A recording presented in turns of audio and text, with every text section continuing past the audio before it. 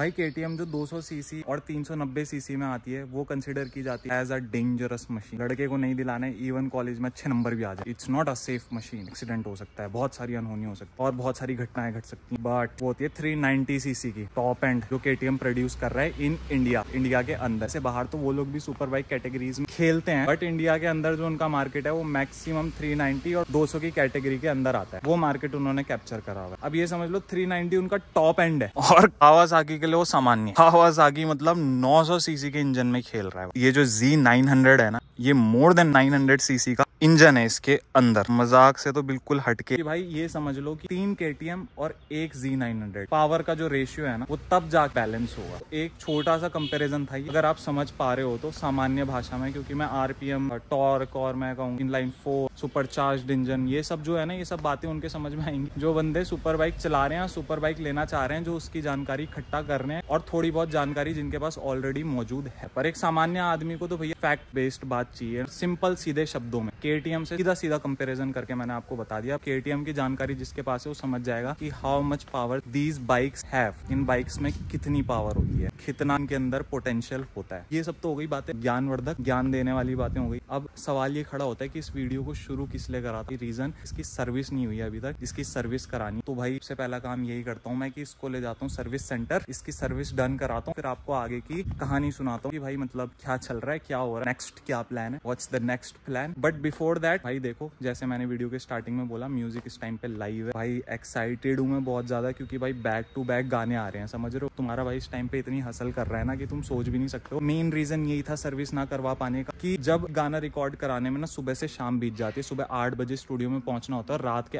आठ बजे तक गाना फाइनल हो रहा होता है, उसमें मिक्सिंग मास्टरिंग का काम है रिकॉर्डिंग का काम रिकॉर्डिंग करते हुए म्यूज़िक बैठाने का काम है, बहुत सारी चीज़ें होती है। वो सब मिला जुला के ये हो जाता है कि शाम खिंच जाता है, पूरा दिन खिंच जाता है। और ये सोचिए ये तो तब है जब खाली रिकॉर्डिंग मिक्सिंग मास्टरिंग की मैं बात आपको बता रहा हूँ। बट ये सोचो कि मैं एक इंडिविजुअल आर्टिस्ट हूँ, मेरे पे कोई टीम नहीं है जो मेरे को सॉन्ग राइट करके दे दी और फिर मैं उसके बाद उसे बना रहा हूँ। गाना मैं खुद लिख रहा हूँ। बीट्स में मैं मेरे भाई की हेल्प ले रहा हूँ। जो बीट प्रोड्यूसर है बीट्स बना रहे हैं। इतना ही एक्सटर्नल हेल्प है। बाकी भाई सारा तुम्हारा भाई खुद मैनेज कर राइटिंग से लेकर प्रोडक्शन तक, आवाज़ से लेके हर चीज़ तुम्हारे भाई की अपनी ओरिजिनल है। तो ओरिजिनल शेट है भाई। त्रिनेत्र बाई त्रिनेत्र। बनाना देखो, हमारा काम मेहनत करना हमारा काम है। और सराहना जो है, वो आपका काम है। गाने का नाम भी भाई देखो, त्रिनेत्र ही है। भाई देखो फ़र्स्ट सॉन्ग है। मेरे दिमाग में और कोई आइडिया आ नहीं रहा था। अपने ही नाम से ड्रॉप भी कर दिया गाना। त्रिनेत्र बाय त्रिनेत्र। भाई मेरी लाइफ के ऊपर मेरी स्टोरी थी। मेरी ही सारी कहानी थी।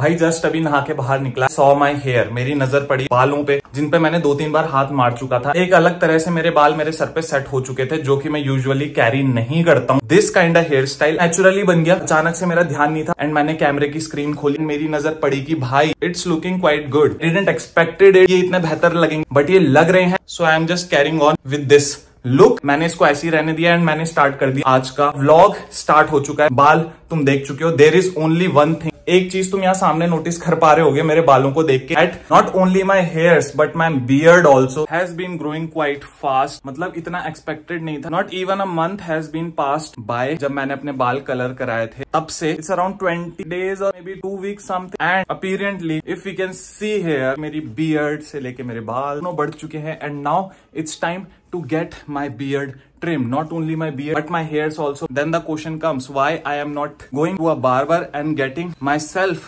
groomed up क्या रीजन है उसका रीजन ये है भाई कि I am obsessed with this hair color green hair color i am literally obsessed with this color मैं पे ऐसा मन हो रहा है I should carry it as long as I can जितनी मेरी क्षमता है जब तक मैं रख सकता हूँ जब तक रखा जा सकता है जब तक ये संभव है कि ये इस लुक को कैरी किया जा सकता है तब तक क्यों ना किया जाए, तब तक क्यों ना रखा जाए। रखने की बात आती है तो भैया केयर करना बहुत ज़रूरी भाई, केयर तो मैं करता ही शैम्पू से लेके, कंडीशनर से लेके एवरीथिंग हर चीज़, हर वो संभव प्रयास जो इन बालों को और बेहतरीन रंग, रूप और लुक दे सकता है, मैं वो चीज़ करता हूँ। भाई, मेरे पहले के हेयर कट्स तो आपने देखे होंगे। मैंने यूजुअली जो है ना army cut basically proper army cut नहीं कहूँगा। But most of the time छोटे रखे। कई बार ज़ीरो ट्रिम्ड भी रखे हैं मतलब कि जरा से भी नहीं, बिल्कुल क्लीन सफ़ा शर्ट क्लीन साफ़, सुथरे। बट जब से मैंने अपने बाल थोड़े लंबे किए हैं एंड कलर कराए हैं, जब से उनका लुक बदला है, उनका अपीरियंस बदला है, अपना थोड़ा गेटअप बदला है I am getting this idea की we can play with our hairs भाई। इनके साथ खेला जा सकता है, इनके साथ टाइम स्पेंड किया जा सकता है, इनको समझा जा सकता है, इनको जाना जा सकता है और इनके साथ बहुत कुछ किया जा सकता है, बहुत कुछ। There is a lot of possibilities जो खुल जाती है जब हम बाल कलर कराते हैं बिकॉज़ एक चीज़ मैंने देखी, जब से मैंने बाल कलर कराया ना, तब से I have been trying lot of different kind of hair styles जैसे कि भी आप देख सकते हो वीडियो की स्टार्टिंग में मैंने बाल बिल्कुल अलग तरह से रखे थे। अभी इस वक्त पे मेरे बाल बिल्कुल अलग डायरेक्शन में, बिल्कुल अलग एंगल पे और बिल्कुल अलग लुक में सेट हो चुके हैं। ये जो ट्रांजेक्शन था ना it just happened in few seconds that's the power of the big